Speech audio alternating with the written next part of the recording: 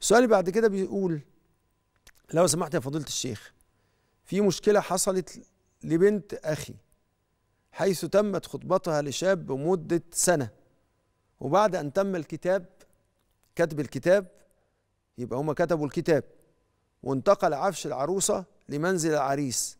خلاص ده رايحين بقى عشان تبقى في دخل.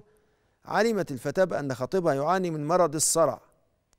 وعند مواجهته بهذا لم ينكر مبررا ذلك بأنه خاف من أن من أن هي ترفضه والآن هي رافضة رفض تام هذه الزيجة من فضل حضرتك ما هي حقوقها حال حدوث الطلاق.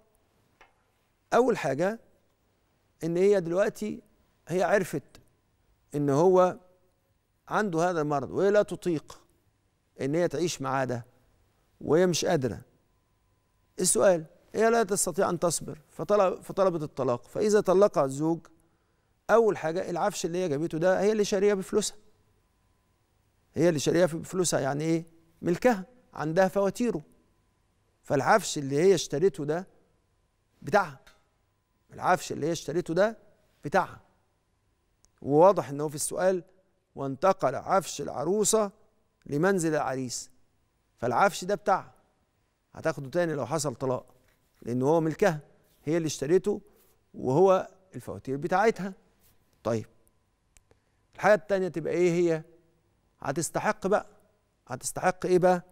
هتستحق نصف الصداقه هتستحق نصف الإيه؟ نصف الصداقه اللي هو نصف إيه؟ نصف المهر. لو كاتب لها لأن ما حصلتش دخلة. لو كاتب لها صداق مثلا كذا ألف تاخد نص الكذا ألف. الشبكة كذا جرام تاخد نص الكذا جرام ده.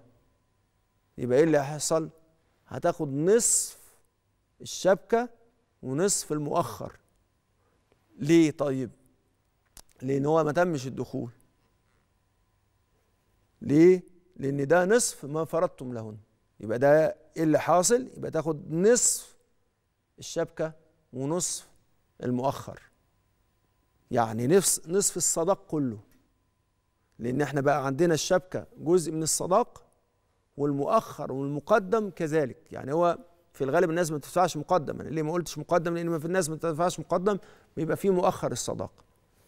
ومؤخر الصداق يجب بحاجتين بالموت أو بالدخول.